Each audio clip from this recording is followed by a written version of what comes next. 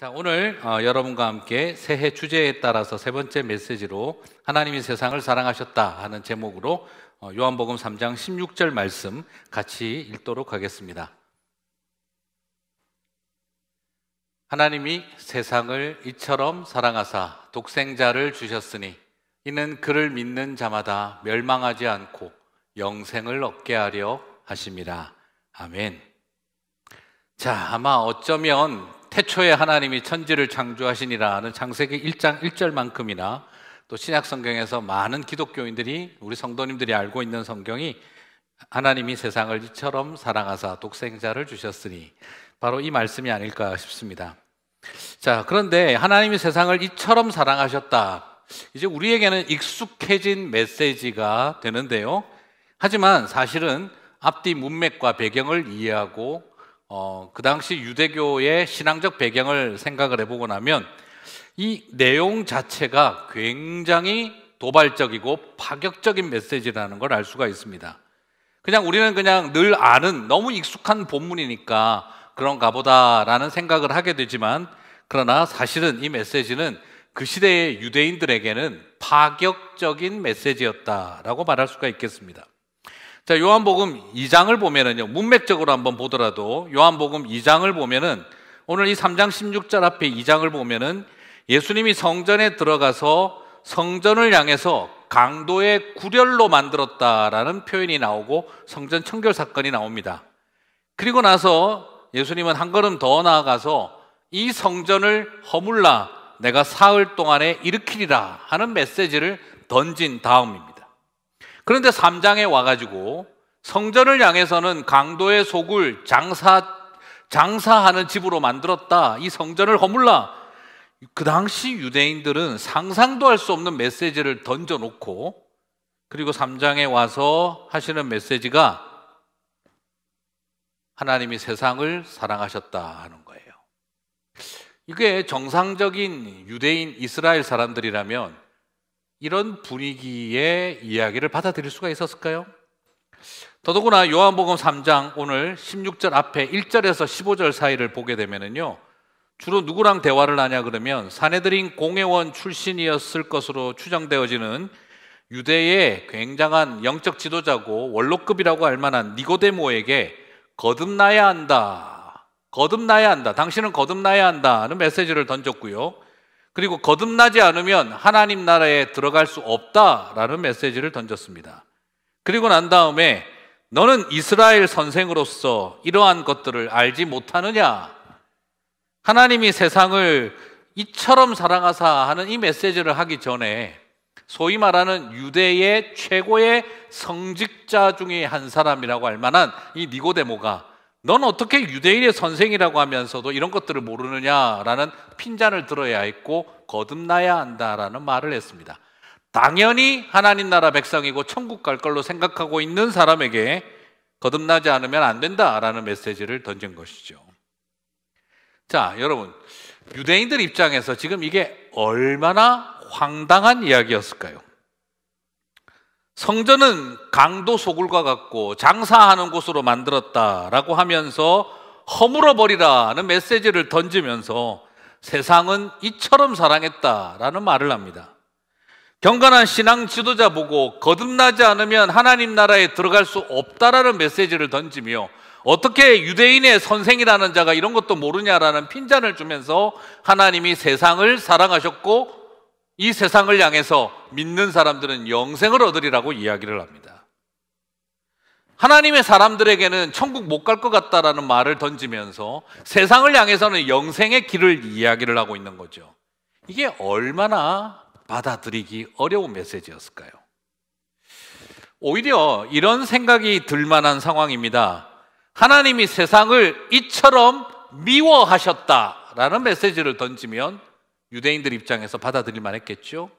하나님이 세상을 이렇게까지 혐오하셨다, 싫어하셨다, 그렇게 하면 참 좋았을 것 같습니다.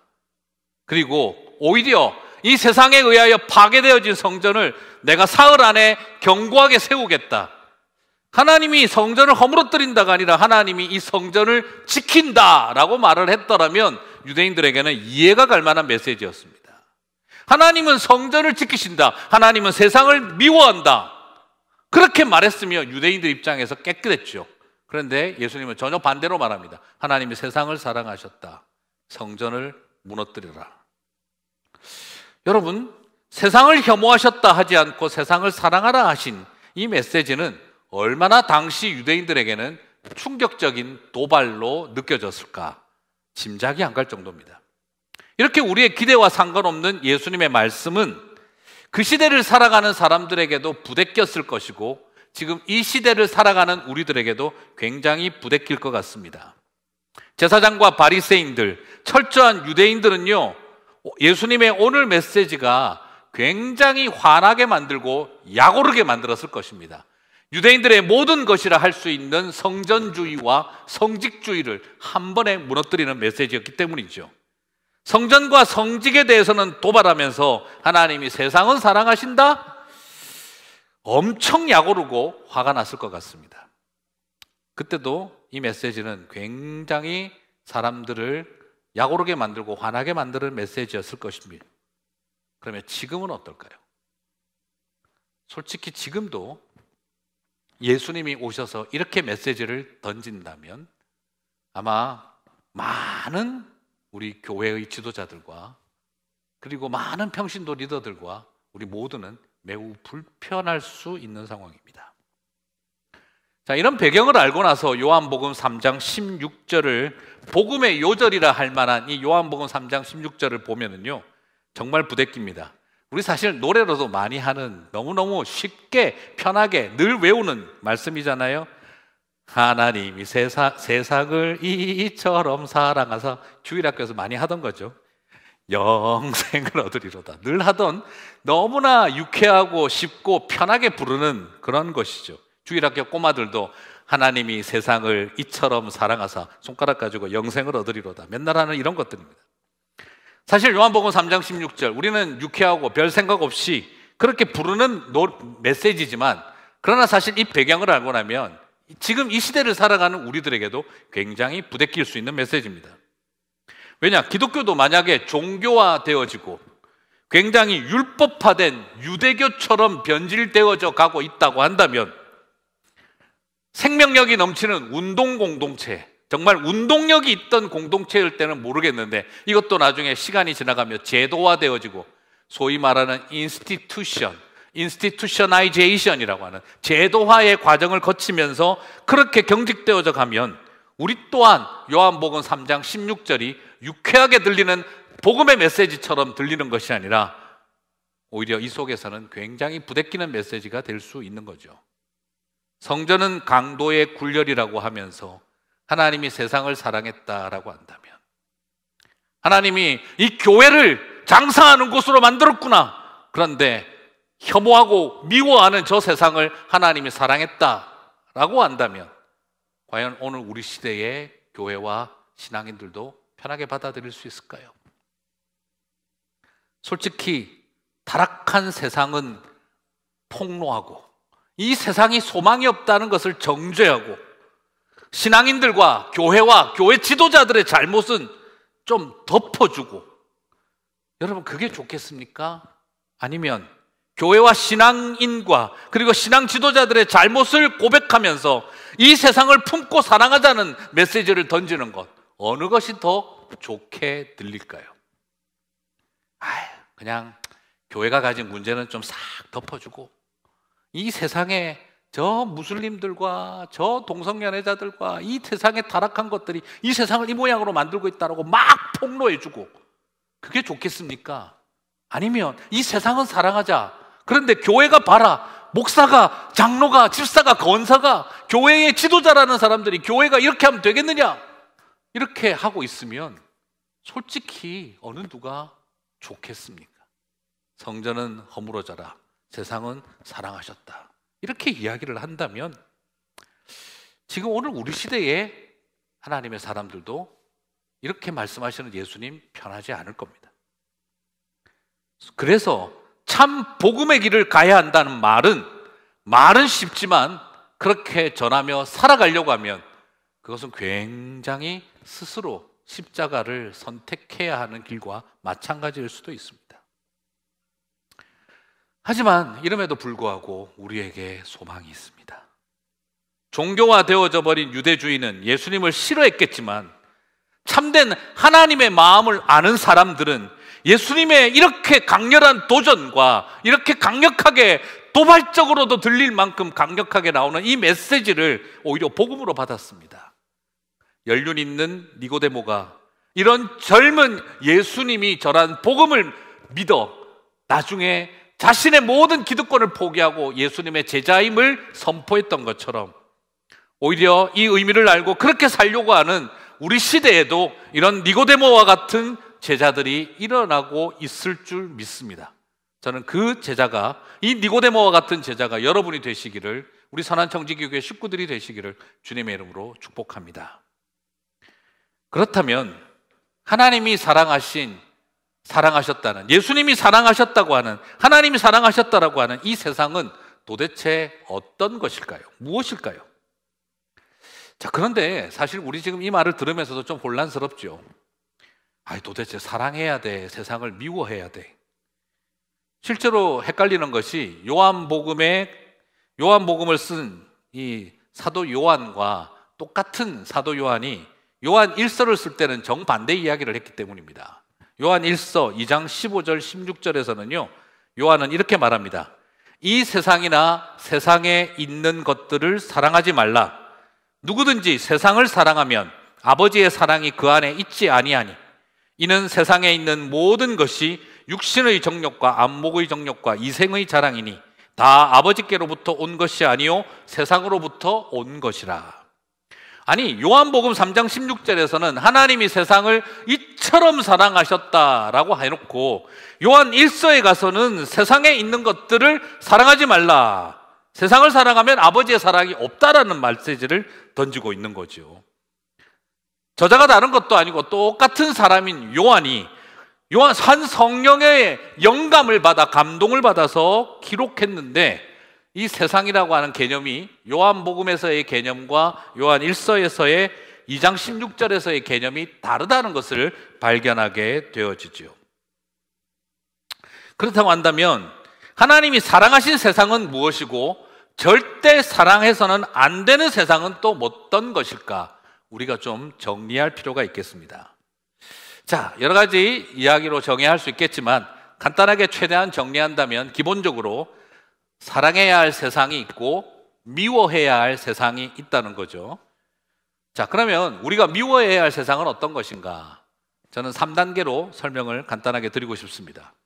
우리가 미워해야 할 세상은 죄의 원리라고 하는 이 원리가 이 죄의 원리라고 하는 이 시스템과 그리고 죄의 원리가 작동하는 방식 그리고 죄의 원리가 작동하여 형성되어진 유형 무형의 결과를 우리는 하나님이 미워하는 세상이다라고 정리할 수 있겠습니다. 자, 이 세상은 결코 사랑할 수 없고 이 세상은 사랑을 한다면 우리는 하나님을 사랑하지 않는 것이죠.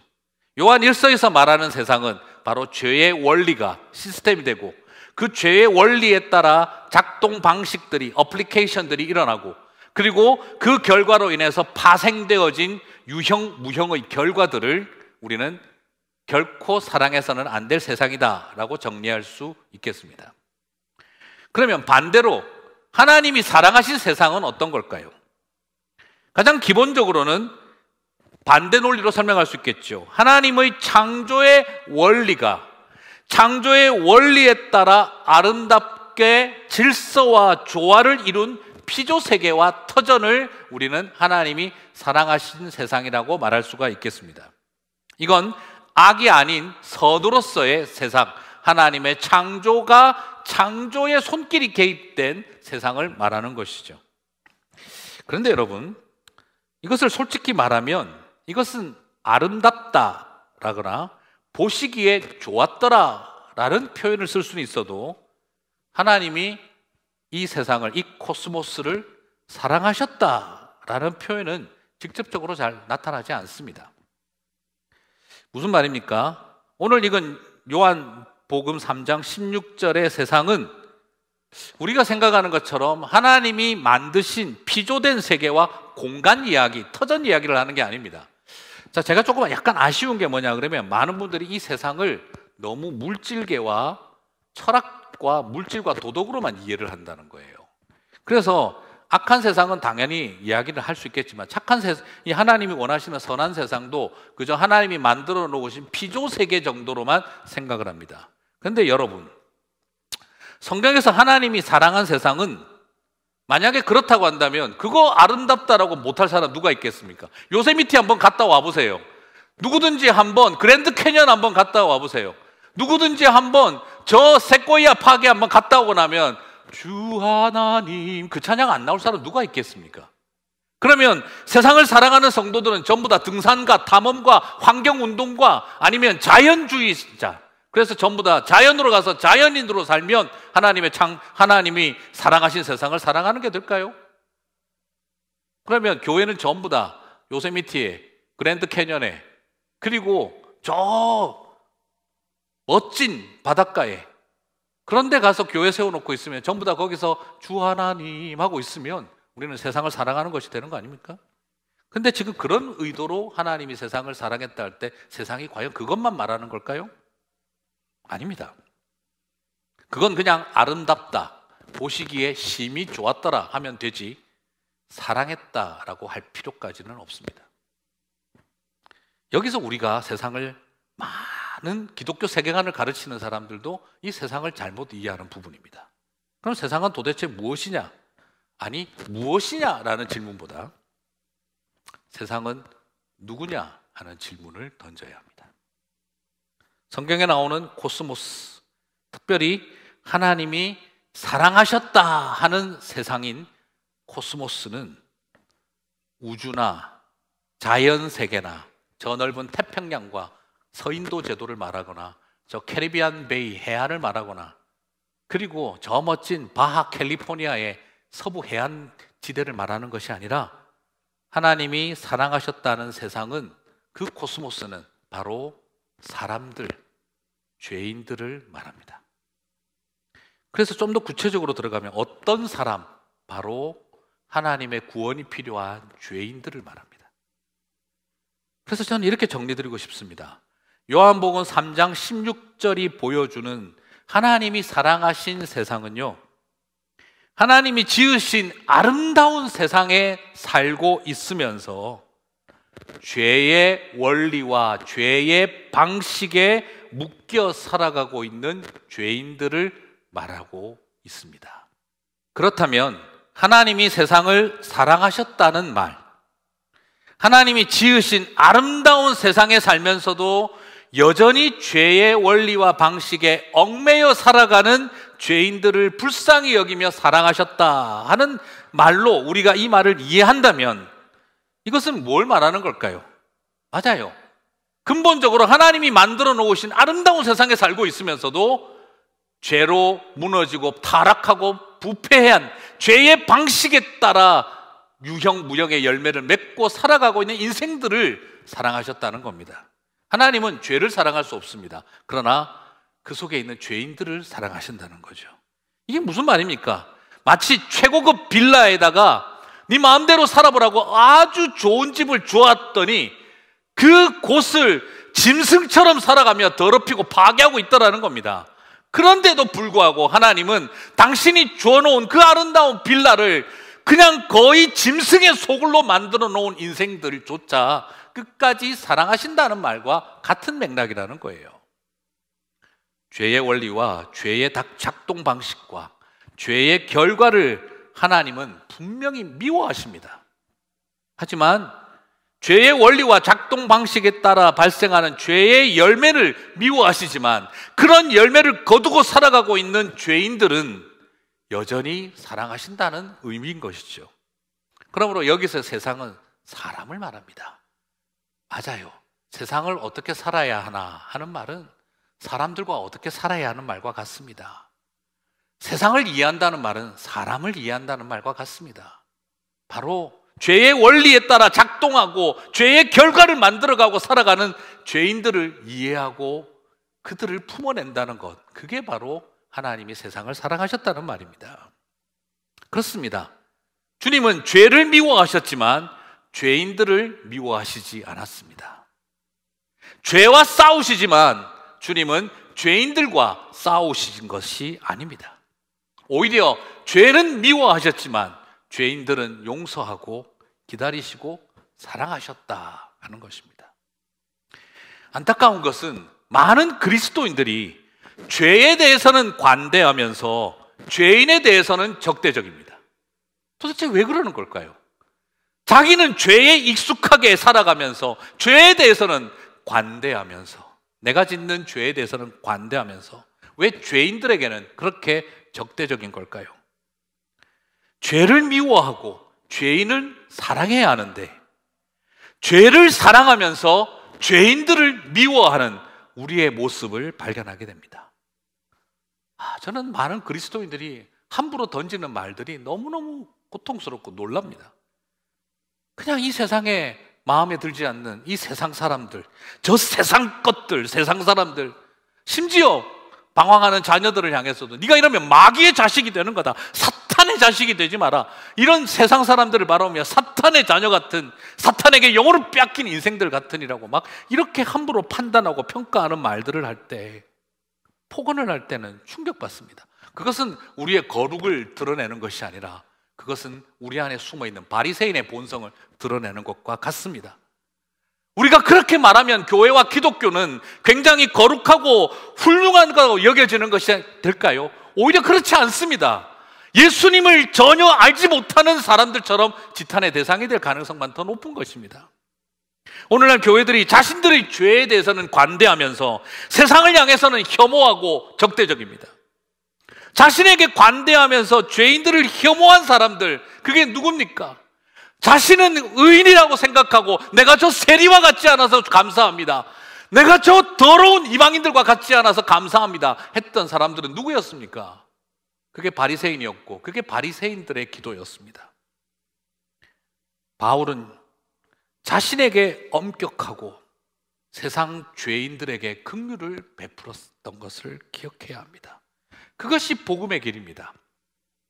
오늘날 우리는 우리의 죄에 대해서는 교회가 세습이 일어나고 목회자들이 성추행을 하고 성도들이 하나님을 떠난 삶을 살아가고 그 모든 것에는 관대하면서 우리는 이 세상을 향해서는 혐오를 외칠 때 그것은 의도하지 않았던 바리새인의 길을 우리도 모르게 그 누룩에 젖어드는 것을 말합니다.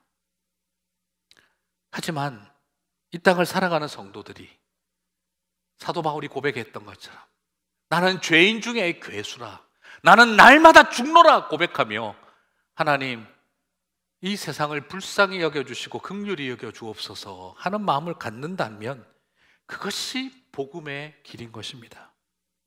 주님처럼 죄의 원리, 죄의 작동 방식, 죄가 만들어낸 유무형의 결과들을 우리는 그런 죄악된 세상을 미워해야 합니다. 미워하시기 바랍니다. 하지만 죄인들은 그들이 종교가 무엇이든 무신론자든 우상숭배자든 자신의 정체성에 혼란을 경험하고 있든 우리는 주님처럼 사랑하고 용납하며 품어야 하는 것입니다.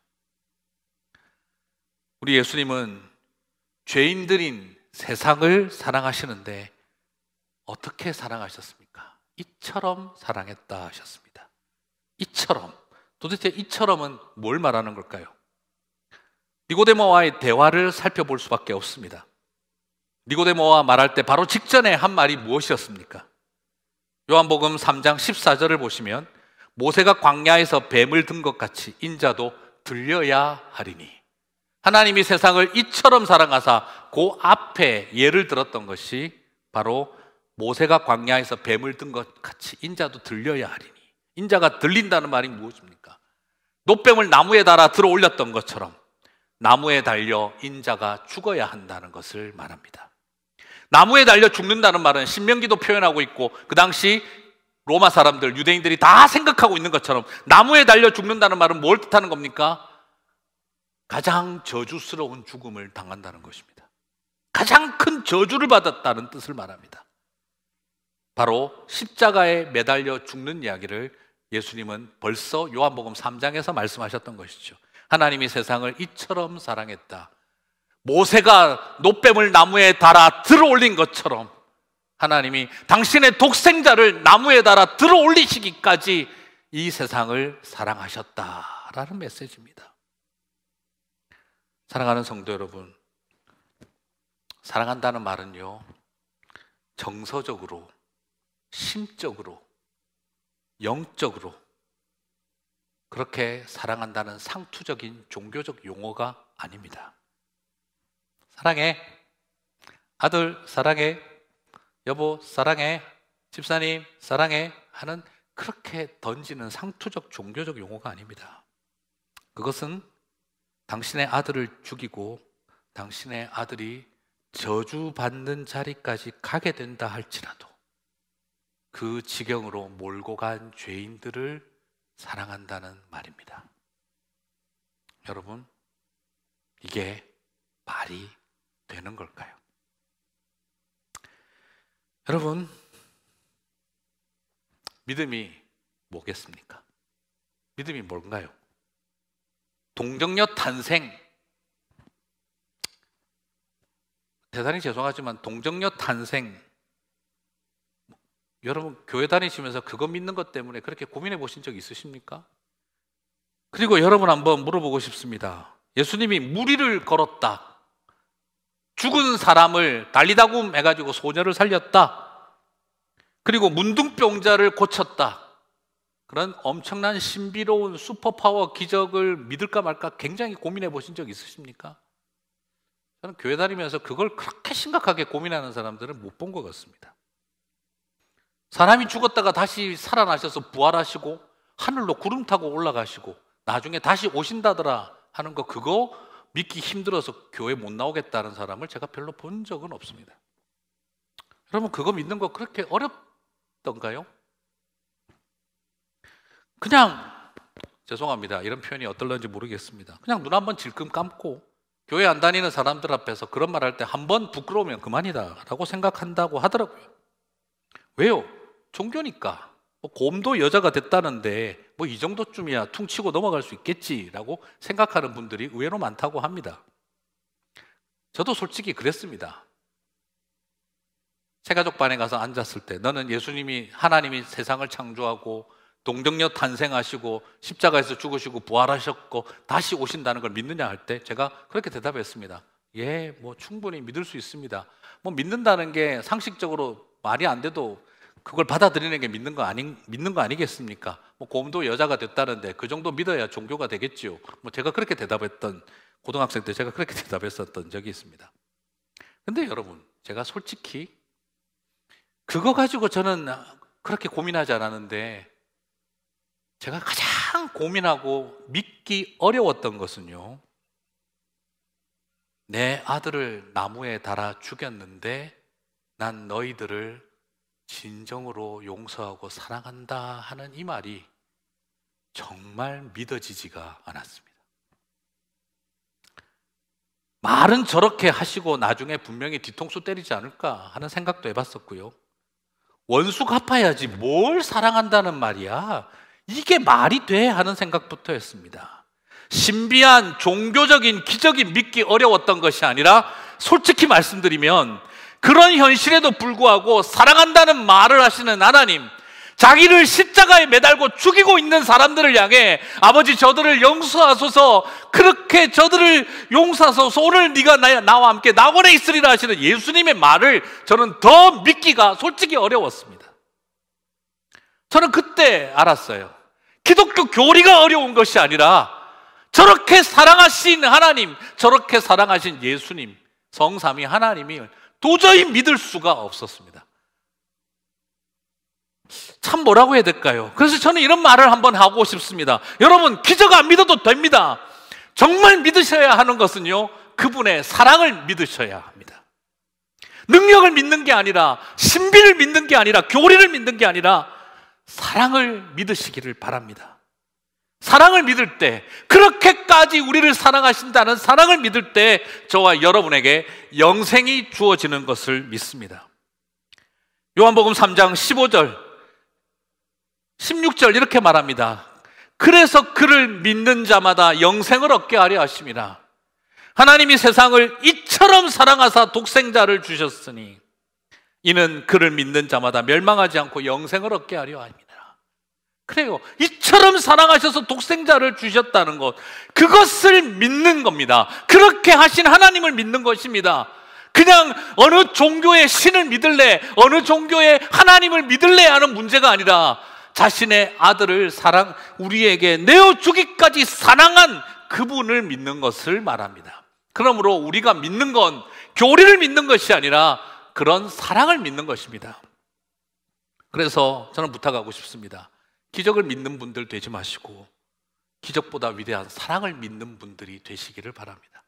그래서 믿음, 소망, 사랑, 방언, 예언, 수많은 은사 다 내려놓고 오직 사랑을 강조하셨던 것은 그것이 바로 우리의 믿음과 영생의 본질이기 때문입니다. 그래서 저는 그렇게 고백할 수 있게 됐습니다. 병주야, 너는 뭘 믿니? 하고 물어보셨을 때 저는 그때 고백했습니다. 저는 그분의 사랑을 믿습니다. 하나님이 사랑이신 것을 믿습니다. 사랑하는 성도 여러분, 이것이 오늘 우리에게 필요한 가장 중요한 깨달음입니다. 솔직히 저는요, 세상을 사랑하라 그러면 사랑할 수 있을 것 같았어요. 세상을 사랑해라. 그런데 정말 어려운 게 뭐였냐 그러면은요, 사람을 사랑하라가 정말 어려웠습니다. 여러분, 솔직히 말해서 세상 사랑하는 게 뭐 어렵겠습니까? 조국을 사랑하면 되잖아요. 미국을 사랑할 수 있잖아요. 북한도 사랑할 수 있고 이슬람 세계도 얼마든지 사랑할 수 있잖아요. 지구를 사랑하고 환경을 사랑할 수 있잖아요. 하지만 그런 코스모스를 사랑하는 일은 얼마든지 할 수 있습니다. 그런데 내 아들을 나무에 매단 그 죄인들을 사랑하는 일은 그것을 할 수 있는 일이 아닙니다. 솔직히요, 저는 그런 생각도 했습니다. 죄는 용서할 수 있겠는데, 거꾸로 죄인은 죽어도 용서를 못 하겠더라고요. 무슨 심오한 마음의 의미를 이해하시겠습니까? 성경을 보니까 죄를 미워하되 죄인들을 사랑하라, 미워하지 말라. 뭐 사람들은 그런 금원도 말하고 예수님도 그렇게 하시는데요. 저는 죄를 미워하되 죄인들을 미워하지 말라 사랑하라는 말이 더 받아들이기 어려웠습니다. 거꾸로였습니다. 죄는 용서하겠는데 사람은 용서가 안 된다라는 생각이 더 많았습니다. 죄인이 미운데 어떻게 합니까? 뭘 죄하고 나랑 무슨 상관이 있습니까? 죄가 뭔 죄야? 제가 그렇게 이야기했죠. 인간이 나쁜 놈이지. 정말 그러고 싶었습니다. 그래서 정말 어려웠던 것이 뭐냐면 이런 죄인들을 사랑하신다는 하나님이 저는 더 정말 힘들었습니다. 사랑하는 성도 여러분, 정말 우리가 사랑을 압니까? 우리가 정말 믿음을 아는 걸까요? 세상을 사랑하는 거 쉽습니다. 그러나 사람을 사랑하는 게 어렵습니다. 죄를 용서하는 거 할 수 있습니다. 그러나 죄인을 용서하고 사랑하기가 쉽지가 않습니다. 그런데 그리스도 예수께서 하나님이 이런 우리를 당신을 십자가에 매단 우리를 당신의 아들을 십자가에 매단 우리를 용서하고 사랑하셨습니다. 그 사랑을 믿을 때 가장 큰 은혜가 임하는 것입니다. 그렇습니다. 우리에게 가장 필요한 것이 사랑에 대한 믿음입니다. 말씀을 정리하겠습니다. 그런 죄인인 나를 아버지가 용서하고 사랑하셨다. 하는 사랑에 대한 믿음이 없이는 우리는 이 세상을 품어내고 살아낼 방법이 없습니다. 교리에 대한 믿음. 내가 기독교 교리를 얼마나 이해하고 파악하느냐. 그것이 나를 변화시키지 않습니다. 사랑에 대한 믿음이 우리를 변화시킵니다. 내가 이런 나를 하나님이 사랑하셨다는 말씀을 의심 없이 두려움 없이 믿을 수 있을 때, 나 저 말 믿는다. 하나님이 나를, 이런 나를 사랑하셨다. 나 저 말 믿는다. 그 말이 저와 여러분을 살립니다. 나 삼일체 깨달았다. 나 하나님 나라에 대한 신학적인 성찰을 얻었다. 나는 교회론에 대한 깊은 깨달음을 얻었다. 이런 것이 나를 살리는 것이 아니라 죽어 마땅한 나를 하나님이 사랑하셨다.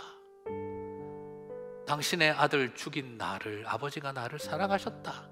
나 그 말 믿는다 할 때 우리의 인생이 달라집니다. 징벌받아 마땅한 내가 사랑받았다는 믿음이 있을 때 징벌받아 마땅한 죽어 마땅한 내가 사랑받았다는 믿음이 있을 때 죽어 마땅한 인간을 사랑할 수 있는 믿음을 갖게 됩니다. 이것이 복음입니다. 내가 착한 아이라서 구원이라는 선물을 산타클로스처럼 하나님이 주시는 거 아닙니다. 여러분 꼭 기억하십시오. 저와 여러분은 이쁜 짓 하고 잘해서 금메달 따듯이 구원 얻고 영생 얻은 거 아닙니다. 저는 여러분에게 한번 묻고 싶습니다. 지금 여러분에게 이 구원과 영생과 믿음이라고 하는 것은 내가 수고하고 따낸 금메달입니까? 아니면 하나님이 값없이 주신 은혜로 주신 선물입니까? 너무나 많은 그리스도인들이 금메달 신앙을 하려고 합니다. 우리는 금메달 신앙을 가져야 될 사람들이 아니라 선물 신앙을 가져야 합니다. 우리는 금메달 딴 사람들이 아니라 선물 받은 사람들입니다. 지금 여러분에게 있어서 복음이 금메달이시면 안 됩니다. 선물이어야 합니다. 새해 표로 30주년을 맞은 우리 교회에 위대한 비전과 믿음이 필요한 것이 아닙니다. 30주년을 맞은 우리 교회가 이제 엄청난 비전이 필요한 것이 아닙니다. 우리에게 더 필요한 것은 하나님 사랑에 대한 믿음을 주십시오. 이런 나를 사랑하셨다는 믿음을 갖고 그래서 나도 이런 세상을 사랑할 수 있다는 믿음이 필요합니다. 그것이 말씀이 육신이 되어 우리 가운데 거하신 삶, 하나님이 세상을 사랑하셨다 하는 삶을 온전히 아는 사람들의 길입니다. 사랑하는 성도 여러분, 우리를 사랑하시는 주님에 대한 믿음으로 인하여 이 세상을 사랑하는 믿음으로 가득한 하나님의 백성들이 되시기를 주님의 이름으로 축복합니다. 우리 같이 오늘 주신 말씀 붙들고 기도했으면 좋겠습니다.